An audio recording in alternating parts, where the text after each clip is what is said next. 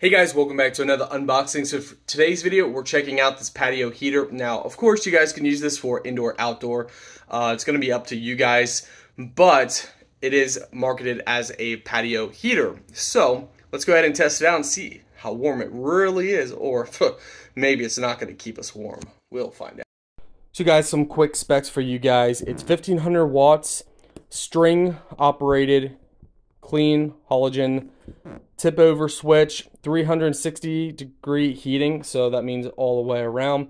You guys can pause the video if you want to see uh, some more features. So everything comes packaged very nicely. All right guys you got your base you got a manual you have your well this will thread in the bottom like that. Uh, but we'll go and get to that in a moment this is what it looks like. So this is where the base will stick down in, in here. That's why they give you this piece to hold it in place. You will need a screwdriver. Uh, but yeah, here's a string. You just simply pull. There's the coils that heat up. And this is what it looks like, which is really nice. Really, really nice, guys. So guys, once you put it in just like this, you then go ahead and turn the base until the holes line up. So you turn this, and I don't know if you guys can see, but you can see the holes line up. That's the screws, so you're gonna wanna go ahead and place the screws inside there. This is gonna snap on, and this is just gonna help keep your power cable in place.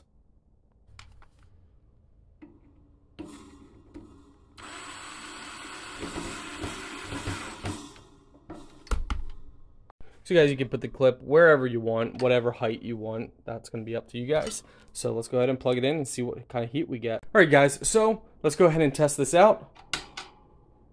Oh, what? Oh, that is so amazing. And the heat's like instant. What? Guys, and look, it gives off such a beautiful light.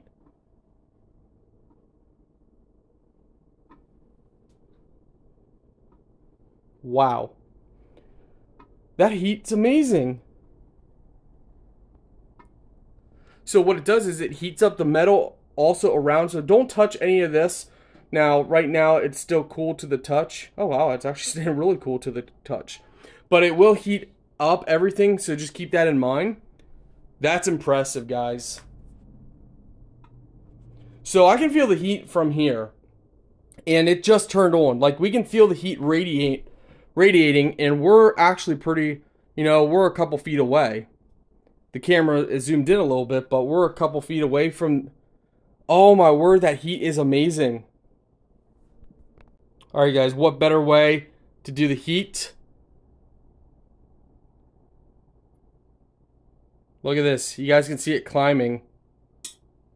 So it's going to make little noises. That's just the metal heating up.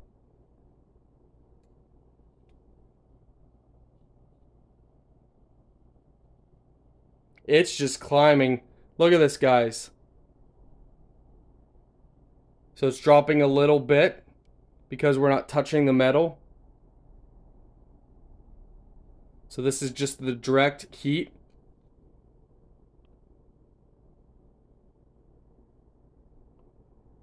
So we're keeping it a distance from the metal a little bit here. But as you guys can see, it's slowly heating up. Now if we touch the actual metal, you guys can see how hot it, it really starts to get.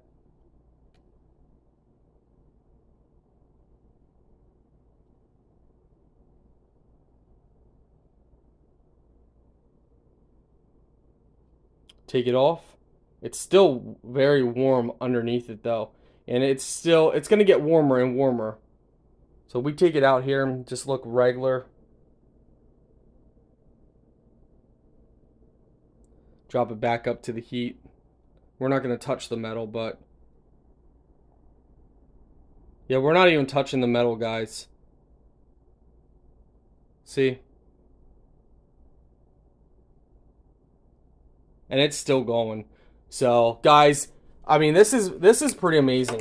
Like the heat that's coming from this is very amazing. I am So that's warm. Oh no, that's hot. So the closer you get to the base, a little warmer. Top's not too bad. So you know, you know, you don't want to touch stuff. Now this is plastic. Oh, that's actually cool to the touch right here. Fire resistant. The actual, that's cool. So everything stays cool. The power cable is a little warm, but not hot.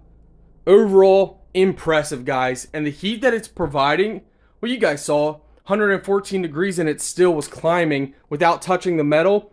The metal is over 150. So this is amazing, guys. I mean, just really nice. So this is going to work great for us. Uh, let me go ahead and show you guys, you know, once when we want to eat outside, um, we have our own table, picnic table. So as you guys can see, so it's going to work great for us. So guys, also I do want to remind you and point out that this also does have a tip over feature. So for safety, so if it gets, let's see here, about right there at this degree angle, it tips over. I mean, it turns off. So it has an off feature. And then when you put it right side back up, it turns back on. So that's just a kind of a child safety feature, but a, you know, fire hazard feature, which is definitely a big plus.